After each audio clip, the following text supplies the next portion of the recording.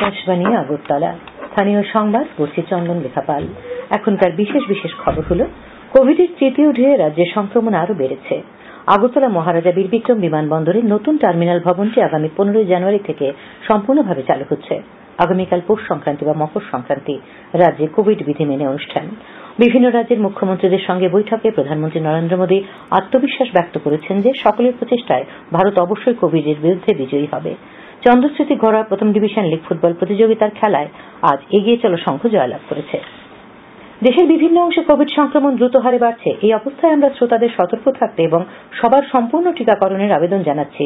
পনেরো থেকে আঠারো বছর বয়সী কিশোর কিশোরী সহ অন্যান্যদের টিকাকরণের এবং অন্যদের টিকা নিতে সাহায্য করার আহ্বান জানাচ্ছি। করোনার নতুন ভ্যারিয়েন্ট উদ্বেগের কারণ হয়ে দাঁড়িয়েছে। কোভিড থেকে দূরে থাকতে তিনটি সাধারণ নিয়ম মেনে চলুন। মাস্ক ব্যবহার করুন। দুগজ দূরত্ব বজায় রাখুন। হাত ও মুখ পরিষ্কার রাখুন। কোভিড সম্পর্কে জানতে ফোন করুন। জাতীয় helpline number zero one one two three nine seven eight zero four six এবং ওয়ান জিরো সেভেন ফাইভে ত্রিপুরার হেল্পলাইন নম্বর হল one one two zero three eight one two three two five eight seven nine এবং eight seven nine four five three four five zero one এবারে আসছে বিস্তারিত খবরে। কোভিডের তৃতীয় ঢেউয়ে রাজ্যে সংক্রমণ আরও বেড়েছে। আজ স্বাস্থ্য দপ্তর থেকে প্রচারিত বুলেটিন অনুযায়ী সারা রাজ্যে নশো ষোলো জন কোভিডে আক্রান্ত হয়েছেন। সংক্রমণের হার নয় দশমিক এক শূন্য শতাংশ। এ নিয়ে গত তিন দিনে রাজ্যে সংক্রমিত হলেন দু হাজার দুশো আটাত্তর জন। স্বাস্থ্য দপ্তরের বুলেটিনে জানানো হয়, আজ পশ্চিম জেলায় সংক্রমিত হয়েছেন সবচাইতে বেশি পাঁচশো উনষাট জন। তারপর রয়েছে ধলাই জেলার ছেষট্টি জন, সিপাহী জেলার ছাপ্পান্ন, গোমতী জেলায় পঞ্চান্ন, দক্ষিণ ত্রিপুরা ঊনকোটি জেলায় উনপঞ্চাশ জন করে। উত্তর জেলায় আক্রান্ত হয়েছেন চুয়াল্লিশ জন এবং খোয়াই জেলায় আক্রান্ত হয়েছেন সবচাইতে কম আটত্রিশ জন। আজ একজনের মৃত্যু হয়েছে। এ নিয়ে রাজ্যে কোভিডে মোট আটশো উনত্রিশ জনের মৃত্যু হল। বর্তমানে দুহাজার আটশো চুয়াল্লিশ জন চিকিৎসাধীন রোগী রাজ্যে রয়েছেন। কোভিডের নতুন সংস্করণ ওমিক্রন শনাক্তকরণে রাজ্যের প্রতিটি মহকুমায় দ্রুত ও পর্যাপ্ত কিট সরবরাহের ব্যবস্থা করার দাবি জানিয়েছে সিপিআইএম রাজ্য সম্পাদক মন্ডলী সম্পাদক মন্ডলীর পক্ষে এক বিবৃতিতে সিপিআইএম রাজ্য সম্পাদক জিতেন্দ্র চৌধুরী অভিযোগ করেন যে, কোভিড মোকাবিলায় রাজ্য সরকার পদক্ষেপ সম্পর্কে মুখ্যমন্ত্রী গতকাল সাংবাদিক সম্মেলনে যা বলেছেন তা হতাশাব্যঞ্জক। সিপিআইএম রাজ্য সম্পাদক মন্ডলীর পক্ষ থেকে কোভিড সেন্টারগুলিতে পর্যাপ্ত ওষুধ, পথ্য, অক্সিজেন প্রশিক্ষিত কর্মী এবং অন্যান্য প্রয়োজনীয় সরঞ্জাম মজুত রাখা, কোভিড আক্রান্ত রোগীদের চিকিৎসার খরচ সম্পূর্ণভাবে রাজ্য সরকার বহন করা, সরকারের ঘোষণা অনুযায়ী কোভিড আক্রান্ত হয়ে মৃতজনের প্রতি পরিবারকে দশ লক্ষ টাকা সাহায্য প্রদান করা ইত্যাদি দাবি করা হয়। আগরতলা মহারাজা বীরবিক্রম বিমানবন্দরের নতুন টার্মিনাল ভবনটি আগামী পনেরোই জানুয়ারি থেকে সম্পূর্ণভাবে চালু হচ্ছে। ওইদিন সকাল সাড়ে দশটায় এই টার্মিনাল ভবনে প্রথম ফ্লাইট প্যাসেঞ্জাররা ব্যবহার করতে শুরু করবেন। ওইদিন থেকেই পুরনো টার্মিনাল ভবন সম্পূর্ণভাবে যাত্রীদের ব্যবহারের জন্য বন্ধ হয়ে যাবে। উল্লেখ্য, গত চৌঠা জানুয়ারি প্রধানমন্ত্রী নরেন্দ্র মোদী বিমানবন্দরের নতুন ইন্টিগ্রেটেড টার্মিনাল ভবনের আনুষ্ঠানিক উদ্বোধন করেন। বিমানবন্দরের অধিকর্তা রাজীব কাপুর জানিয়েছেন, বিমানবন্দরের সকল কর্মীদের সহায়তায় দ্রুততার সঙ্গে নতুন ভবনটি চালু করা সম্ভব হয়েছে। আগামীকাল পৌষ সংক্রান্তি বা মকর সংক্রান্তি রাজ্যের জাতি উপজাতি উভয় অংশের কাছে দিনটি বিশেষ তাৎপর্যের। এই দিনটিকে পিঠিপুলির দিনও বলা হয়। পিঠিপুলির জন্য বাজারে নানা রকম উপকরণের পসরা সাজিয়ে তোলা হয়েছে। চিরাচরিত রীতি অনুযায়ী পৌষ সংক্রান্তির ভোরে স্নান করে সূর্য প্রণামের পর এই পিঠেপুলি খাওয়া হয়। বাড়ির উঠোনে সূর্য দেবতাকে উদ্দেশ্য করে আলপনা দেওয়া হয়। স্নান সেরে বুড়ির ঘরে আগুন দিয়ে আগুন পোহানোরও অন্যতম রীতি। তবে গ্রাম ত্রিপুরা এই সংস্কৃতি এখনও বজায় থাকলেও শহরে এই সংস্কৃতি অনেকটাই মলিন। এখন নানা পিঠেপুলি বিক্রি হয়, ক্রেতারা তা কিনে এনে পৌষ সংক্রান্তির আনন্দ উপভোগ করেন। জাতি উপজাতি অংশের জনগণ এদিনে পিতৃপুরুষদের উদ্দেশ্যে তর্পণ করেন।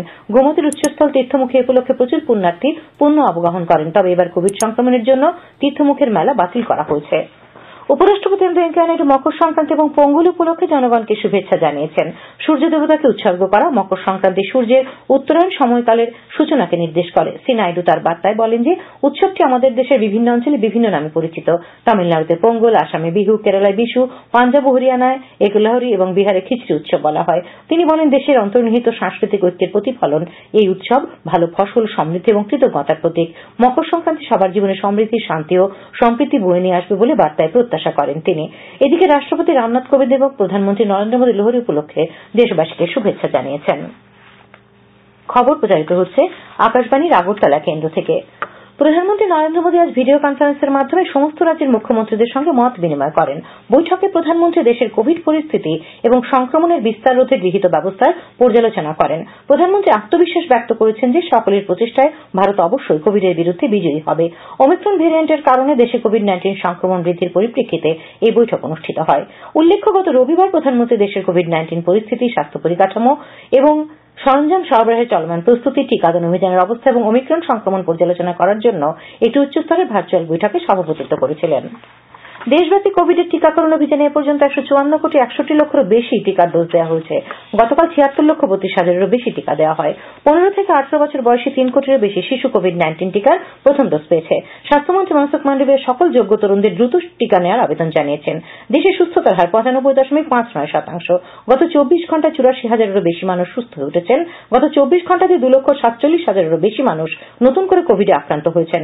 বর্তমানে দেশে চিকিৎসাধীন রোগীর সংখ্যা এগারো লক্ষ সতেরো হাজার পাঁচশো আটত্রিশ গত চব্বিশ ঘন্টায় তিনশো আশি জনের মৃত্যু হয়েছে।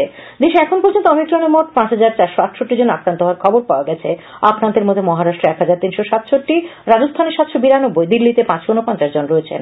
কেন্দ্রীয় স্বাস্থ্যমন্ত্রক জানিয়েছে, এখন পর্যন্ত দু হাজার একশো বাষট্টি জন এই সংক্রমণ থেকে সুস্থ হয়ে উঠেছেন। দেশে এখন পর্যন্ত উনসত্তর কোটি তিয়াত্তর লক্ষের বেশি কোভিডের নমুনা পরীক্ষা করা হয়েছে। নয়াদিল্লিতে অনুষ্ঠিত জাতীয় পর্যায়ে দক্ষতা বিকাশ প্রতিযোগিতা দু হাজার বাইশে ত্রিপুরার দুজন ছাত্র পুরস্কৃত হয়েছেন। মুখ্যমন্ত্রী বিপ্লব কুমার দেব সামাজিক মাধ্যমে এই সংবাদ দিয়ে বলেন, নরসিংহ টিআইটির ছাত্র ক্রমিক দে সাইবার নিরাপত্তা ট্রেডে ব্রোঞ্জ পদক অর্জন করেছেন এবং ইকফাই বিশ্ববিদ্যালয়ের ছাত্র নাসিম উদ্দিন স্বাস্থ্য ও সামাজিক যত্ন ট্রেডে এক্সেলেন্স অ্যাওয়ার্ড মেডেল অর্জন করেছেন। মুখ্যমন্ত্রী দুজন ছাত্রকে অভিনন্দন জানিয়েছেন। বন্যায় ক্ষতিগ্রস্ত কৃষকদের মধ্যে সবজির বীজ বিতরণ করল কৃষি ও কৃষক কল্যাণ দপ্তরের ডুকলি এগ্রি সাব ডিভিশন আজ ডুকলি ব্লক আয়োজিত এই অনুষ্ঠানে উপস্থিত ছিলেন কৃষিমন্ত্রী প্রণজিৎ সিংহ রায়, পশ্চিম জেলার জেলা পরিষদের সভাধিপতি অন্তরা দেব সরকার, ডুকলি ব্লকের পঞ্চায়েত সমিতির চেয়ারম্যান অজয় দাস সহ অন্যান্যরা। অনুষ্ঠানে মন্ত্রী সহ অন্যান্য অতিথিরা কৃষকদের হাতে বীজ তুলে দেন। উল্লেখ্য, পশ্চিম জেলায় বন্যায় ক্ষতিগ্রস্ত হয়েছেন এক লক্ষ পঁচিশ হাজার কৃষক।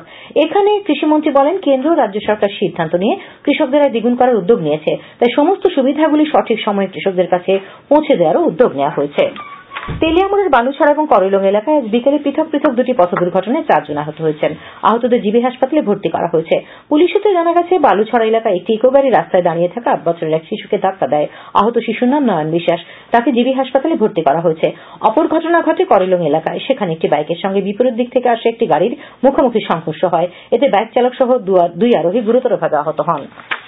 প্রধানমন্ত্রী নরেন্দ্র মোদী আগামী তিরিশে জানুয়ারি রবিবার সকাল এগারোটায় আকাশবাণীর মন কি বাত অনুষ্ঠানে দেশ বিদেশের জনগণের সঙ্গে মত বিনিময় করবেন। এটি হবে মন কি বাতের পঁচাশিতম পর্ব। প্রধানমন্ত্রী জনগণকে তাদের সুচিন্তিত চিন্তাভাবনা মন কি বাতে জানানোর আহ্বান জানিয়েছেন। মাইগভ ওপেন ফোরামে এবং নমো অ্যাপে জনগণ তাদের মতামত পাঠাতে পারবেন। এছাড়াও toll free number one eight zero zero one one seven eight zero zero নম্বরে কল করে হিন্দি বা ইংরেজিতে মতামত রেকর্ড করানো যাবে। ওয়ান নাইন টু টু নম্বরে মিস কল দিয়ে লিঙ্ক পাওয়া যাবে, তাতেও এস এম এস করে মতামত জানানো যাবে। খেলার খবর। চন্দ্রস্মৃতি ঘোড়া প্রথম ডিভিশন লিগ ফুটবল প্রতিযোগিতার খেলায় আজ এগিয়ে চলো সংঘ জয়লাভ করেছে। উমাকান্ত মিনি স্টেডিয়ামে অনুষ্ঠিত খেলায় এগিয়ে চলো দুই শূন্য গোলে বীরেন্দ্র ক্লাবকে পরাজিত করে। বিজয়ী দলের পক্ষে দুই অর্ধে দেবাশিস রায় একাই দুটি গোল করে। মহিলাদের ঘরোয়া লিগ ফুটবল প্রতিযোগিতা থেকে ত্রিপুরা স্পোর্টস স্কুল এন্ট্রি প্রত্যাহার করে নিয়েছে। ফলে আজ মহিলা ফুটবল প্রতিযোগিতার কোনো খেলা হয়নি। কোভিড সংক্রমণ বেড়ে যাওয়ার ফলে স্পোর্টস স্কুলের হোস্টেলে কেয়ার সেন্টার গড়ে ওঠায় এন্ট্রি প্রত্যাহার করা হয় বলে জানানো হয়েছে। আবহাওয়া। আগামীকাল আকাশ মেঘাচ্ছন্ন থাকবে, সকালে হালকা কুয়াশা পড়বে। তাপমাত্রা সর্বোচ্চ চব্বিশ ডিগ্রি এবং সর্বনিম্ন ষোলো ডিগ্রি সেলসিয়াস থাকবে। আজ দিনের তাপমাত্রা ছিল সর্বোচ্চ পঁচিশ দশমিক সাত ডিগ্রি সেলসিয়াস এবং সর্বনিম্ন ষোলো দশমিক আট ডিগ্রি সেলসিয়াস। শেষ করার আগে খবরের বিশেষ বিশেষ অংশগুলি আরেকবার পড়ছি। কোভিডের তৃতীয় ঢেউ রাজ্যে সংক্রমণ আরও বেড়েছে। আগরতলা মহারাজা বীরবিক্রম বিমানবন্দরের নতুন টার্মিনাল ভবনটি আগামী পনেরোই জানুয়ারি থেকে সম্পূর্ণভাবে চালু হচ্ছে। আগামীকাল পৌষ সংক্রান্তি বা মকর সংক্রান্তি রাজ্যে কোভিড বিধি মেনে অনুষ্ঠান।